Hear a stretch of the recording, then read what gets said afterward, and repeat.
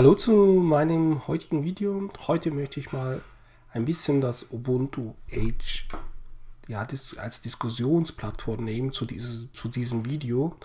Und zwar verfolge ich das ja genauso wie alle anderen Linux Ubuntu User gespannt eben, was hier denn eben zusammenkommt. In den nächsten vier Tagen wissen wir genau, wie viel Geld hier eingesammelt worden ist. Also das Ziel ist ja 32 Millionen US-Dollar zu sammeln und dabei eben die Entwicklung für das Ubuntu AHS zu produzieren. Und für die, ja, diejenigen, die das eben schon vorbestellt haben, ich glaube mittlerweile sind es um die 600 noch was Euros. Am Anfang waren es 800. Jetzt wurde es nochmal runtergesetzt. Eben, ich finde es clever. Man hat eben versucht, durch eben Preisdumping mehr User für sich zu gewinnen.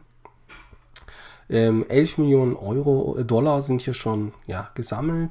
Und ja, Ubuntu, das Ubuntu Smartphone, es sieht nicht so aus, dass es erreicht wird.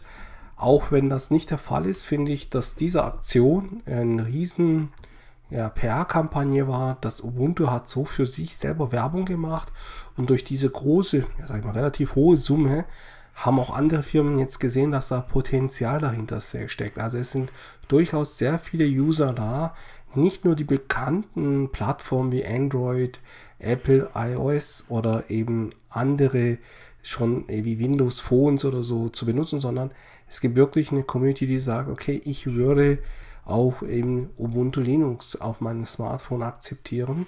Und dieses Smartphone hat ja dann noch den Charme, dass es sowas wie ein Desktop-Computer dient. Dazu gibt es etliche, etliche Videos im YouTube. Ich würde euch einfach mal empfehlen, das einzutippen.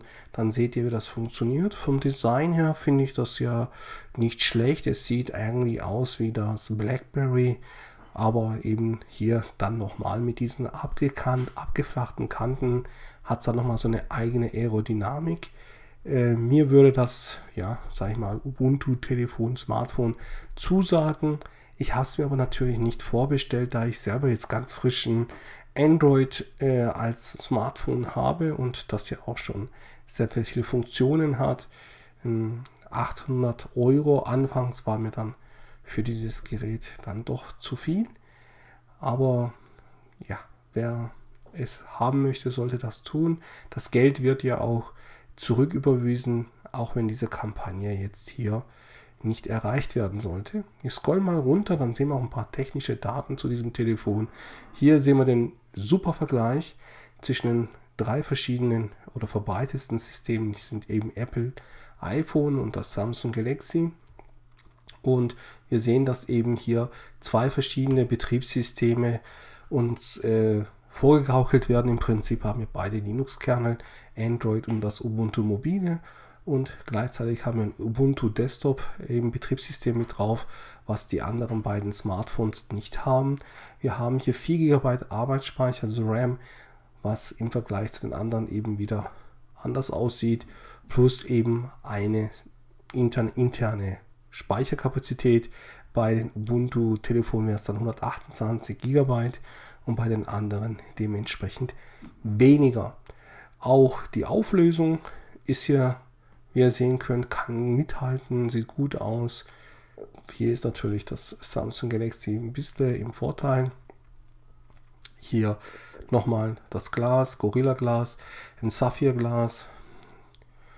Hier haben wir Dual LTE GSM. Auch eben ein kleiner Vorteil gegenüber den anderen Konkurrenten. Wir haben hier Stereo-Lautsprecher, bei den anderen haben wir Mono-Batterie. Ich denke, da schenkt sich nicht sehr viel. Und vom Preis her, wie gesagt, es waren nicht Euro, sondern es waren Dollars, sorry. Seht ihr eben, wo der preisliche Bereich hier bei Ubuntu liegt. Ja, so die ganzen Videos zum Betriebssystem, zu, der, zu dem Gerät selber waren sehr, sehr aufschlussreich. Ich fand, es sah alles wirklich ja, ähm, gut entwickelt aus. Also nicht, ich hatte nicht das Gefühl jetzt bei den Videos, dass hier ein Beta vorgestellt wird, sondern es war ein ausgereiftes Betriebssystem auf diesem Smartphone. Wir werden es, wie gesagt, in vier Tagen genau wissen. Ich denke, es wird nicht funktionieren. Trotzdem finde ich das super, dass so viele Leute Interesse hätten, das mal auszuprobieren oder sogar zu kaufen. Und ja, schaut einfach auch mal drauf. Das ist direkt auf der Ubuntu-Seite. Und dann wird ihr in vier Tagen, wisst ihr dann auch Bescheid, wie viel Geld hier gesammelt worden ist.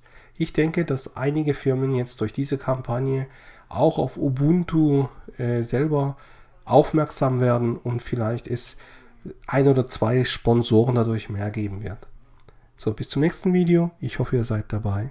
Wir sehen uns.